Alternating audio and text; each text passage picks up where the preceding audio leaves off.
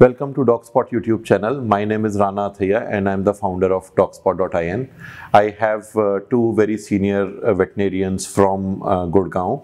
Uh, Dr. Ashok Mehto, he is the founder of uh, CP Vets, and Dr. Satpir Joshan, he is the founder of uh, uh, Metro Pets. Uh, Metro Pet Hospital. Uh, one of the very important uh, topics of these days is coronavirus, and we are going to talk about coronavirus and uh, what is the relation between the pets and human beings and coronavirus. Is there even a relation or not?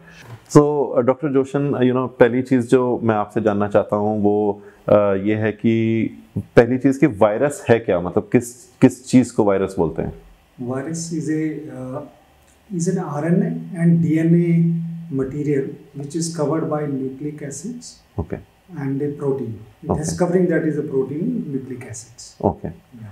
So it is neither living and non-living. Okay so doctor मैं तो मतलब ऐसा क्यों कहते हैं कि एक virus ना ही लिविंग है ना ही नॉन लिविंग है तो मतलब हम हमें तो ऐसे लगता है कि कोई छोटा कीटाणु होगा जो चलता फिरता होगा और मतलब कुछ हानि पहुंचाता होगा अगर हम किसी को लिविंग्स डिफाइन करते हैं, इसका ये मतलब होता है कि उसमें कम से कम एक तो ये होती है कि उसको रिप्रोड्यूस करने की कैपेसिटी हो और दूसरा वो बिना किसी होस्ट के सर्वाइव कर सके मतलब बॉडी के अंदर में मेटाबॉलिज्म कर सके। तो वायरस वाले केस में क्या होता है कि वो रिप्रोड्यूस तो कर पा रहा है बट जब तक उसको कोई उस तरह का होस्ट नहीं मिले वहाँ तक वो बिना होस्ट के वो मल्टीप्लाई मतलब मेटाबोलाइज नहीं कर सकता उसका मेटाबॉलिज्म नहीं है मतलब वो ऑलमोस्ट डेड है। तो इसलिए इसको बोलते हैं कि ये कनेक्टिंग लिंक है between living and non living okay okay ये पर्टिकुलर कोरोना वायरस है क्या? मतलब ऐसा अ, क्या है इसमें? ये पर्टिकुलर कोरोना वायरस जो ह्यूमन को आज इन्फेक्ट कर रहा है जो भी चर्चा में बना हुआ ये एक आरएनए वायरस है जो कि काफ़ी फेटल है। एंड uh, इसका स्प्रेड बहुत ही तेज़ी से हो रहा है एंड कैजुअलिटीज़ भी काफ़ी हो जा रही है। तो ये कोरोना वायरस है बेसिकली uh, एक क्रॉन फॉर्म का वायरस है अ, जिसमें बेसिकली आरएनए के ऊपर डीएनए का आरएनए के ऊपर प्रोटीन का एक लेयर होता है जो कि क्रॉन के फॉर्म में है। एक्चुअली उसके ऊपर स्पाइक्स हैं जो कि क्रॉन जैसे दिखते हैं इसलिए इसका कोरोना वायरस नाम दिया गया है। और ये बहुत ही हाई इन्फेक्टिव है। मतलब एक आदमी से दूसरे आदमी में इन्फेक्शन बहुत तेज़ी से फैलता है। एंड काफ़ी हद तक कैजुअलिटी भी हो रही है। तो डॉक्टर जोशन इसी को थोड़ा और आगे ले जाते हुए आपसे पूछना चाहेंगे कि मतलब जब हम कहते हैं कि बहुत ज़्यादा यू नो फेटल है या बहुत इससे बीमारी हो सकती है तो हम उसको नापते कैसे हैं? उसको नापने का ये तरीका होता है कि हम एक जो जिस ह्यूमंस को हो गई है वो कितने आगे ट्रांसमिट कर सकता है कितने और को इन्फेक्ट कर सकता है। तो ये वाला पार्टिकुलर कोरोना वायरस ये एक आदमी पाँच अंदर- दूसरे आदमियों को इन्फेक्ट कर सकता है बहुत जल्दी से तो ये हाईली ट्रांसमिटेबल डिज़ीज़ है okay. जो कि बहुत सारी पॉपुलेशन को बहुत जल्दी ट्रांसमिट कर सकता कर सकता है। ओके ये कोरोना की डिज़ीज़ हम डॉग्स में भी मतलब सुनते आए हैं एक वैक्सीनेशन होता है जिसको कि कोरोना वायरस वैक्सीनेशन कहते हैं। हम जब पपीज़ ले जाते हैं वेटनेरियंस के पास तो हमें एक तो बताया जाता है सेवन इन वन और या D H P P I और रेबीज और एक करोना वायरस बताया जाता है। तो ये जो करोना वायरस जो आजकल चर्चा में है और जो अ, हम डॉग्स को जो वैक्सीनेट करते हैं क्या वो सेम चीज़ हैं या वो डिफरेंट हैं या क्या हमें अब जल्द से जल्द क्योंकि ये कोरोना वायरस फैल रहा है तो अपने डॉग्स को ले जाकर वेटनेरियन के पास वैक्सीनेट कराना चाहिए उस कोरोना वायरस से या नहीं उसके बारे में प्लीज़ ये जो फॉर्म अभी अवेलेबल जिसके अंदर ये प्रॉब्लम मेनली जो सिम्टम्स आते हैं ह्यूमंस के अंदर इसके अंदर रेस्पिरेटरी फॉर्म है हम्म। और उसमें भी हमारे लोअर लंग्स ज़्यादा इन्वॉल्व होते हैं जिसमें cold cough and breathing issues होते हैं हम्म।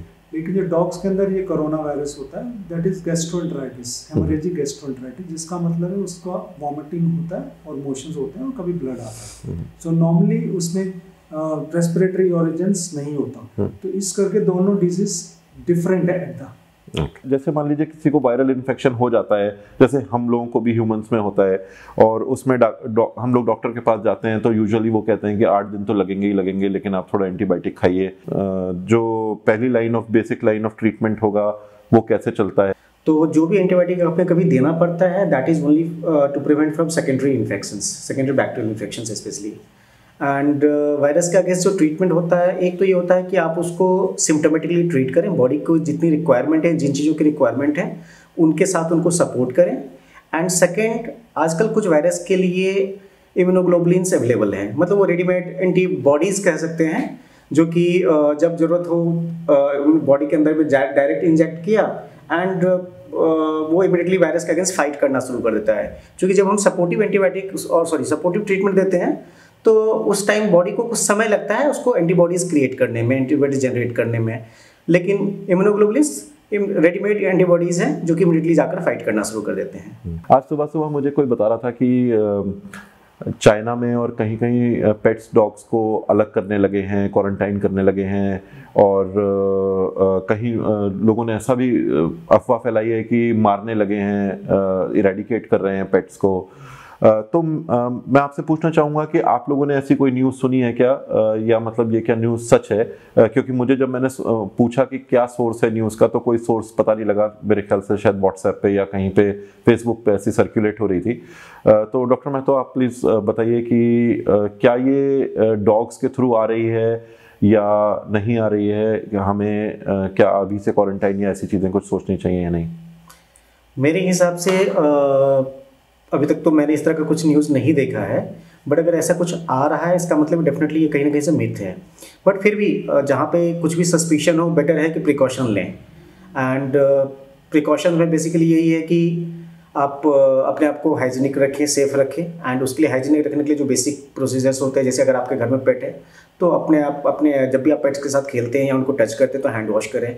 डेफिनेटली एंड बेसिक हाइजीन्स का जो भी रूल्स है वो फॉलो करें। सो डॉक्टर जोशन आप uh, ने कुछ इस पे कोई रिसर्च करी है या मतलब आप क्या एडवाइस कर रहे हैं अपने पेट ओनर्स को अपने क्लिनिक में इस बारे में? देखो according to W H O guidelines उनका वेबसाइट पे इंफॉर्मेशन एट द मोमेंट है देर इज़ नो रिलेशन कोई रिलेशन नहीं है ह्यूमंस और डॉग्स के बीच में। ये जो वायरस है डॉग से अभी तक कोई हमारे पास एविडेंस नहीं आया जो कि ट्रांसमिट हो रहा है।